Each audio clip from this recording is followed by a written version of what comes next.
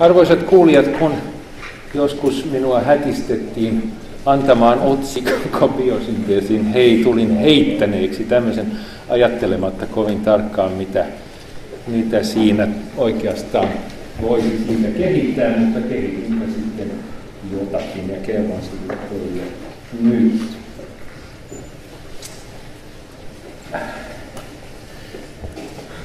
Tässä vanhassa lööpissä yhdistyy kaksi ihmisen äh, perusominaisuutta, kompleksinen kieli ja lihan syönti.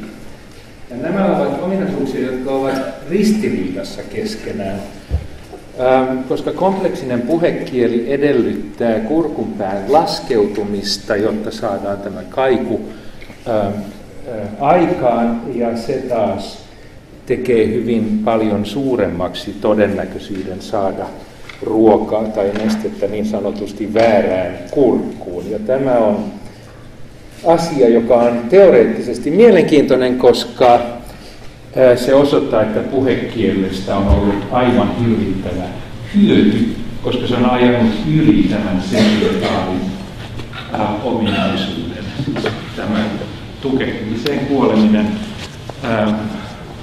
tämmöisessä tilanteessa on ihan merkittävä kuolin, kuolin syy myös modernissa ihmispopulaatiossa.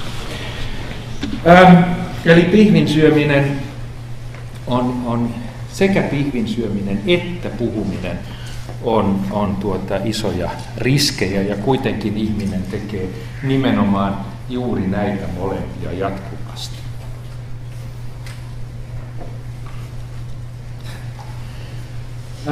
Jo hyvin varhain ajateltiin, että ihminen oikeastaan kehittyy nimenomaan näin. Siis ähm, joku lähinnä hedelmänsyöjä taustasta lähtenyt kädellinen rupesi käyttämään yhä enemmän liharavintoa ja sitä kautta sitten muodostuu ihminen. Tässä on vanha Stenekurianin rekonstruktio Australopithecus africanuksesta.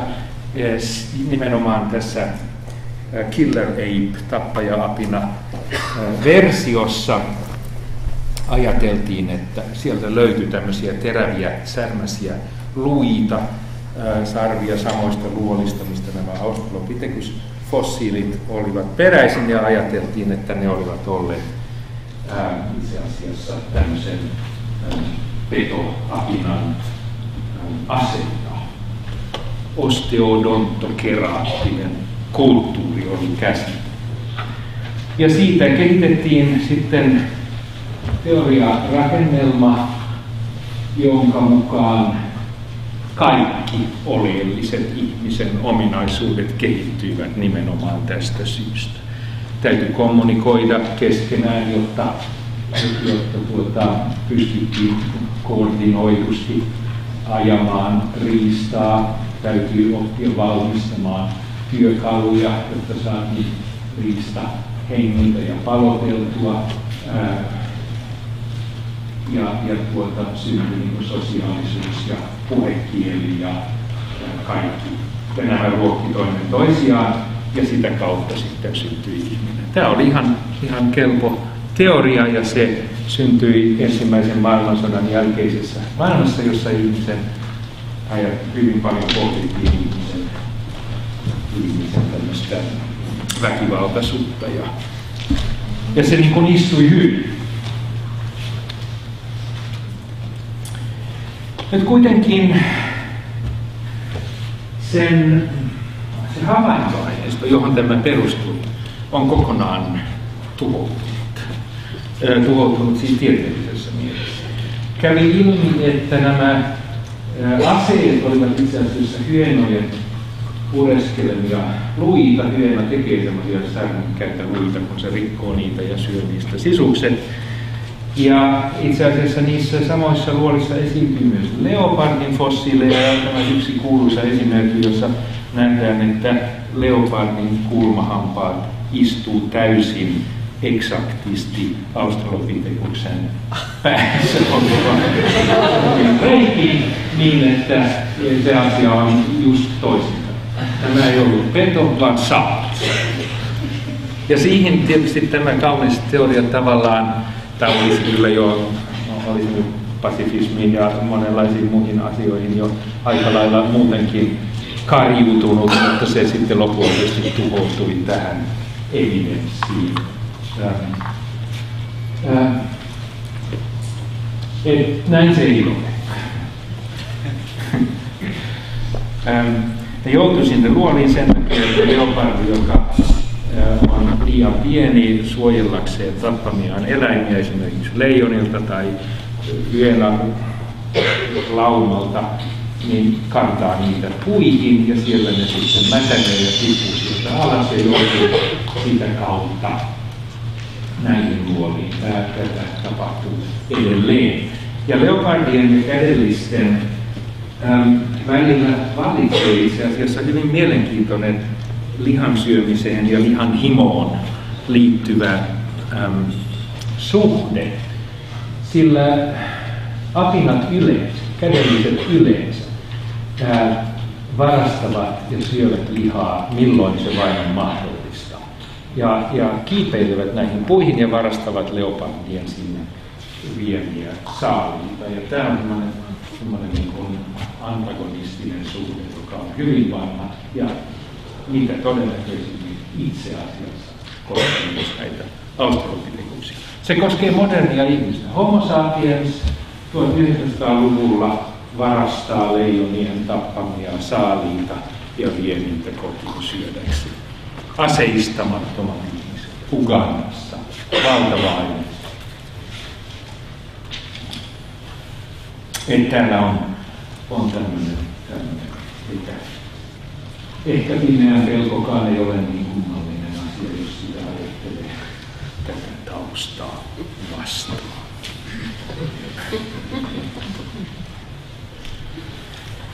Ää, simpanssi syö mielellään.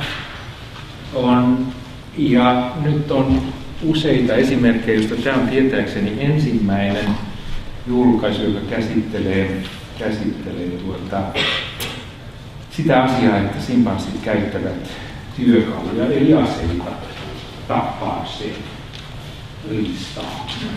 Ja nimenomaan nuoret naissimpanssit, tämäkin on ainakin kahdessa tutkimuksessa erikseen todettu, että se on tämmöinen naisten juttu, tämä pienten, pienten saaliiden keihästäminen. Ähm, eli meidän lähimmällä elävällä sukulaisella on jonkunlainen pyrkimys hyvinkin aktiiviseen ähm, lihan hankkimiseen. Jonkunlainen lihan himo on meillä kuitenkin kai lopulta juurissa. Mutta sipassi ei ole mikään lihasyöjä, hyvin pienimuotoisen ravinnosta on, on, on lihaa, ja se on enemmänkin kuitenkin tämmöinen kaikkiruokainen lähinnä hedelmiä ja muuta kasvisravintoa syövä otus. Kuten kaikki tiedämme, simpanssin yksi ominaisuus on se, että se käyttää työkaluja, tai siis niin, käyttää työkaluja. Ei, ei, ja jopa valmistaa tietysti mielessä työkaluja, ei kuitenkaan kiinnosta, mutta käyttää kiviä myöskin ää, työkaluja luonnon kivinä ja rikkoo niillä kovia siemeniä ja muuta ruokaa, jota se muuten ei oikein pystyisi syömään. Ja tässä on tämä, tämä, tämä sanoisin kumulatiivisen kulttuurin evoluutin keskeinen moottori. Äiti imettää ja laittaa ruokaa ja lapsi oppii siinä arvoinen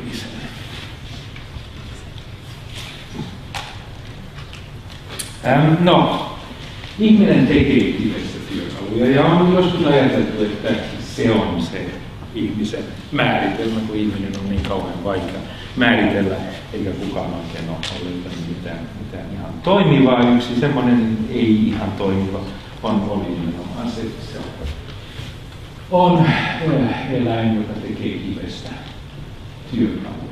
Arkeologinen rekordi alkaa tästä, se on niin noin datan kannalta aivan ratkaiseva vaihe. Ja, ja hyvin se on tietysti myöskin niitä harvoja suoria tiedonlähteitä, mitä meillä on käyttäytymiseen. Anatomia ei käyttäytymisestä kauhean paljon kerro, tämä kyllä kertoo. Ja sen takia on, on tuota, tätä pidetty keskeisenä, niin kuin se onkin. Aika hyvin vakiintunut käsitys on, että se, joka näitä rupesi valmistamaan, oli habilis, jonka rekordi menee jonnekin sinne kahden miljoonan taakse, 2,3, 4, tämmöisiä lukuja näkee oppikirjoissa vielä. Ähm, alkuperäinen Homo habilis Ouluvaista on 2,1. Tässä se kaikessa komeudessaan on se tyyppi aineisto. Ähm, näitä varhaisia homoja oli kuitenkin kovin eri muotoisia ja monet ovat sitä mieltä, että siellä on useita eri lajeja, joista yksi on tämä kuuluisa 1470 kallo. Ähm, Turkaanasta, Kubifuurasta, ähm, joka on hyvin turhauttava sen takia, että sillä ei ole hampaita. Mutta sillä on hyvin erikoinen liitteä naama ja aika isot aivot ja se on hyvin, hyvin kiistanalainen fossiili. Ähm, tässä on tämmöinen, niin kuin, ähm, jos ei ole kauhean paljon asiaa vihkiytynyt, niin näin se suunnilleen menee. Meillä on ensin vanhimman äh, kivityökalut jossakin siellä kahden ja puolen miljoonan tai, tai vähän vanhempia paikkeilla, sitten homosuvun vanhimmat fossiilit heti sen jälkeen. Ja tämä on niin järkeenkäypä systeemi yksilö tekee hirvittävän määrän kivityökaluja ja, ja sen takia ne, niitä kiviä löytyy hyvin, ne, niitä ei mikään tuhoa fossiileja jää hyvin vähän. Näin, näin on kauan ajateltu. Nyt tämä asia on yhtäkkiä muuttunut. Ensinnäkin vanhin homo on nyt 28 miljoonaa. Voihan olla, että tästä vielä muutettu viisaat tutkijat muuttavat mielensä, mutta 2,8 vanhin on tällä hetkellä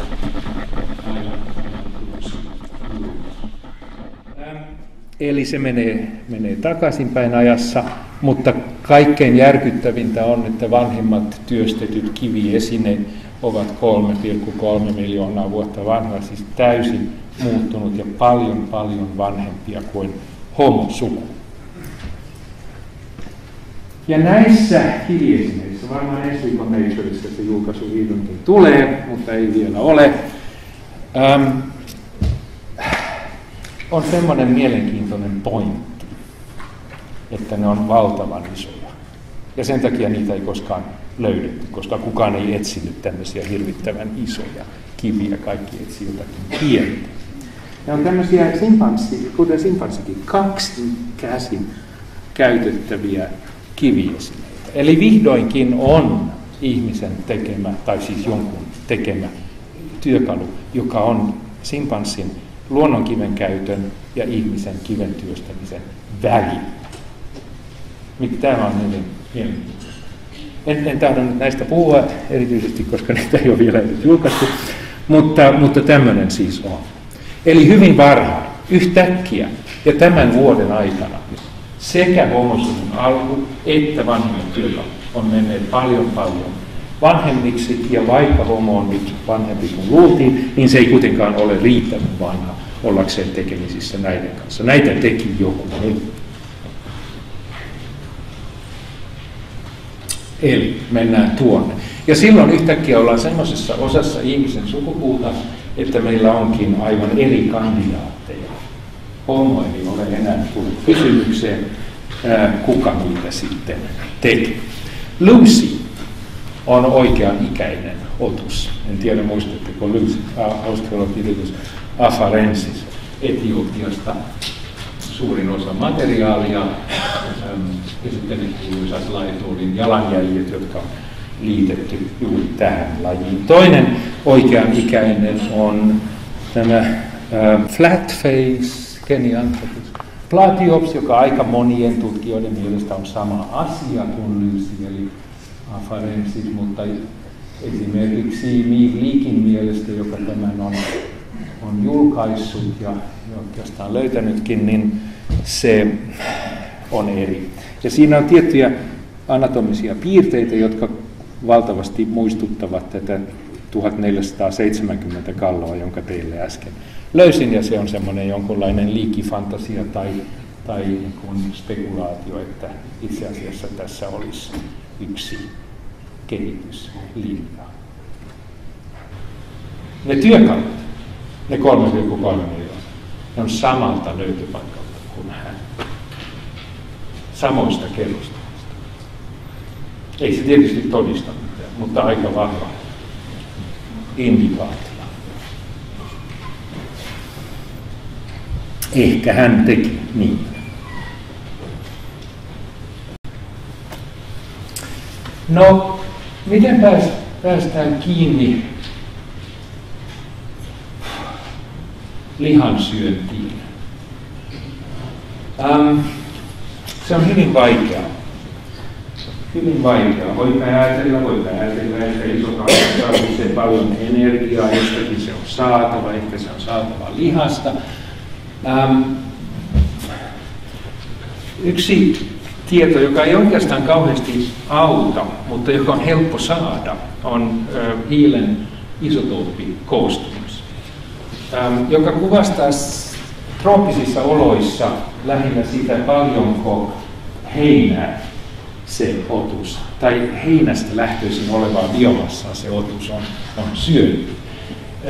Koska trooppiset heinät nykyään ovat niin sanottuja C4-heiniä, niillä on fotosynteesi, joka, joka toimii eri tavalla kuin tämä yleisempi C3-fotosynteesi, ja nämä kaksi reaktioketjua fraktioivat näitä isotoppeja eri tavalla niin, että, että C4-hiili on kevyempää. Se hylkii hiilen raskaita isotoppeja, se on puhtaampaa C12 niin, että tämä heinää vai ei heinää, se näkyy. Ja nyt täysin ällistyttävä juttu, joka on viime vuosina käynyt ilmi, on, että jotkut näistä ihmisen varhaisista sukulaisista, ja varsinkin nämä niin sanotut robustit australopitekukset tai parantropukset, he, niillä on hyvin vahva C4-signaali, siis heinäsignaali. Ja on väitetty, että ne söivät heinää. Sitä en kyllä henkilökohtaisesti suostu uskomaan, mutta jotakin. Heini, ehkä heinän juuria, tärkkelyspitoisia, ehkä jotakin siemeniä jotakin, mutta ei heinää sillä tavalla kuin lehmä, niin kuin joku höllä on ihan vakavissaan esittänyt. Ähm, no, tässä kuvassa nuo keltaiset on niitä parantropuksia ja punaiset on homoja ja nähdään, että homo kulkee kohti näitä parantropuksia. Siis enemmän ja enemmän heinäbiomassaa tulee varhaisen homon evoluution aikana kuvaan mukaan. Tässä on kaksi mahdollisuutta. Yksi on se, että ne muuttaa ruokavaliotaan ja rupeaa syömään enemmän heinäperäistä biomassaa. Toinen on se, että koko ekosysteemi ajelehtii tuohon suuntaan, koska heinää on yhä enemmän ja että nämä vaan passiivisesti kulkee sen mukana. Mutta se, sitä vastaan, tämä on niin täysin mahdollista, mutta se, että nuo parantropukset eivät samalla tavalla muuta ää, sotii sitä vastaan. Eli todennäköisesti tässä tapahtuu jonkunlainen muutos kohti enemmän heinäperäistä ravintoa. Ja se muutos voisi nyt olla se, että metsässä elävät äm, puiden ja pensaiden lehtiä syövät antiloopit sun muut, niillä on tämä C3-signaali sen sijaan avoimissa ympäristössä heinää syövät antiloopit, he, zebrat ja sen semmoiset, niillä on paljon enemmän c Eli voi olla, voisi ajatella, että tässä nähdään tämmöinen ehkä petojen tappamien antilooppien kasvava vaikutus. Ja kokouksessa viime kesänä vanha ystäväni Christopher Dean ja minä kehitimmekin siellä sen kokouksen huviksi tämmöisen ajatuksen siitä, että tästä nimenomaan on kysymys, ähm, että tämä linja, joka johtaa edelleen homo erectukseen, on linja, jossa ruvetaan työstämään lihaa kivityökalulla. Työ, lihaa sellaisena on hyvin vaikea syödä ihmisen hampailla, mutta jos sitä, jos sitä moukaroi ää, kivellä, niin se on ehkä mahdollista. Ja se, mikä sitten tapahtuu tämän loppupäässä, kun tulee homo erectus tai erkasta tai niin, niin tuota, se on se, että hampaat yhtäkkiä pienenee, e, koko eläin muuttuu, tulee kehittynyt kiven työstäminen ja muu. Ja siinä vaiheessa ruokaa työstetään jo suun selvästi suun ulkopuolella. Mutta tie siihen voisi ajatella, että se menee tätä kautta ja me sanoimme, kutsuimme tätä hypoteesia nimellä Al-Selafin Biltong hypothesis. Biltong on siis tämmöinen kuivattu liha, joka on erittäin hyvää syötävää ja Afrikassa suosittua Biltong on tällainen etelä-afrikkalainen sana luulisin. Ja tämä oli se, mikä minulla oli mielessä, kun sanoin, että aion puhua lihan himosta, ihmisen evoluutiosta, eikä mitään muuta. Öm, no, oli miten oli. Homo erectus on, on siis aivan erilainen otus. Koko ruumiin rakenne on erilainen ja kuten menin on sanottu, sanottu nimenomaan Dan Lieberman Harvardista on sanonut, että hän on born to run, että se mikä tekee moderni kuin tämän homon on äh, tämmöinen uuvuttaminen, riistan uuvuttaminen juoksemalla. Äh, ja että tämän takia me olemme tämmöisiä mobiileja otuksia. Eli tämä on niin kuin jo, tässä liha on jo hyvin, hyvin niin kuin lähellä ja isossa osassa. Ja tämä on se ihminen, joka leviää sitten heti myöskin. Tämä mobiili, ensimmäinen mobiililaji on se laji, joka hyvin nopeasti leviää ähm, Afrikasta ulos. Ja se laji, jonka fossiilirekordiin liittyy tulen käyttöä ja kaikenlaisia äm, riistaan ja metsästykseen liittyviä asioita, kuten esimerkiksi heittokeihäitä jo melkein puoli miljoonaa vuotta sitten ja, ja kaikenlaista muuta. Eli tässä ei ole enää mitään epäilystäkään, tämä ihminen on lihansyöjä. Ähm, ja kun tulemme ähm, omaan lajiimme ähm, kivikaudella, niin se on varsinkin pohjoisilla leveysasteilla erittäin vahvasti. Lihansyöjä erikoistunut, esimerkiksi nämä mammutin metsästä ja kulttuurit ähm, tässä, tässä on niin kuin, tämä on lihan varassa toimiva systeemi. Ähm, no ja, sitten jääkausi loppuu, tulee nopea lämpeneminen, ilmasto muuttuu, ihmispopulaatio lähtee nopeaan kasvuun ja suur, suurten nisäkäslajien määrä planeetalla romahtaa. Nämä kaikki kolme asiaa tapahtuu suurin piirtein samaan aikaan, ja se on loputon keskustelu, jota on käyty pitkään, miten nämä liittyvät toisiinsa. Ähm, mikä on syy ja mikä on seuraus. Mutta ei se nyt varmaan tätä, näitä isoja nisäkkäitä auttanut, että ihmisiä alkoi olla yhä enemmän. Tämä muuttuu hyvin mielenkiintoiseksi, jos ei katsota lajimäärää, vaan katsotaan biomassaa. Ja jokainen ymmärtää, että biomassan arvioiminen tässä on hyvin vaikea, siinä joutuu tekemään hyvin paljon olettamuksia, mutta jos sen nyt uskaltaa tehdä, niin tältä se suurin piirtein näyttää. Ensin biomassa puolittuu, siinä jääkauden lopun tapahtumassa. Sitten se jää hyvin alas ja sieltä hyvin hyvin hitaasti nousee, kunnes se teollisen vallankumouksen aikoihin on päässyt samoihin lukemiin. Vain sen takia, että ihmisiä on nyt niin paljon enemmän, että ihmiset korvaa sen hävinneen biomassa. Sen takia, sen jälkeen se lähtee hirvittävään kasvuun niin, että on kertaluokkaa enemmän nisäkäs lihaa tällä planeetalla, josta suuri osa on ihmistä, mutta vielä, vielä paljon suurempi osa on kotieläimiä, lemmikkejä, karjaa. Näin.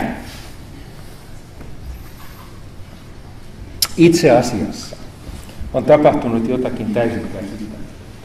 Villit nisäkkäät muodostavat noin kolme prosenttia tästä biomassasta.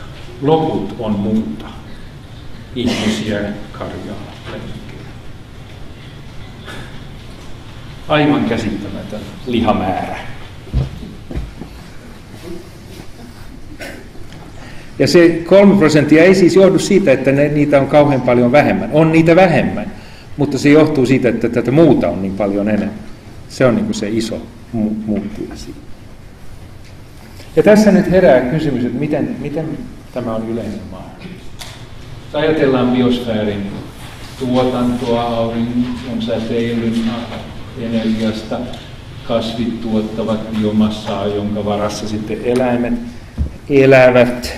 Tätä tulee 728 eksajoulea vuodessa, josta ihmiset ottavat 30 prosenttia suurin piirtein planetaarisesti, kolmasosa melkein. Öm, mutta me käytämme enemmän kuin sen vuotuisen tuotannon vuodessa. Ja miten se on mahdollista? No kyllä me kaikki tiedämme, miten se on mahdollista, koska me otamme sen muinaisen biosfäärin säilymästä tuotannosta, fossiilisista polttoaineista. Ja tällä tavalla tämä on mahdollista. Mutta tämä on siis se, se mikä tekee tänään. Tuon varassa on se valtava lihavuori, jonka me olemme tälle planeetalle rakentaneet. Ja tämä on paleontologin näkökulmasta mielenkiintoinen tieteellinen probleemi. Alun perin ei ollut ihmisiä, systeemi oli yksinkertainen, sitten tuli, nykyään on ihminen, joka tunkeutuu kaikkialle, vaikuttaa kaikilla tasoilla, lähes kaikkiin prosesseihin, tämmöinen planetaarinen vaikuttaja, raskainta kategoriaa. Mutta siinä välissä on sitten vaihe, jossa ihmisen vaikutus biosfääriin alkaa. Ja miten se alkaa? Mihin se ensin vaikuttaa? Tiedämme, että noin kaksi miljoonaa vuotta sitten Afrikassa suurten petojen, mutta ei pienten petojen, vain suurten petojen, tämmöinen niin toiminnallinen diversiteetti, funktionaalinen monimuotoisuus romahtaa. 90 prosenttia häviää. Jää pelkkiä generalisteja. Ja on esitetty, että tämä johtuisi siitä, että ihminen häiritsee näiden erikoistuneiden suurpetojen toimintaa.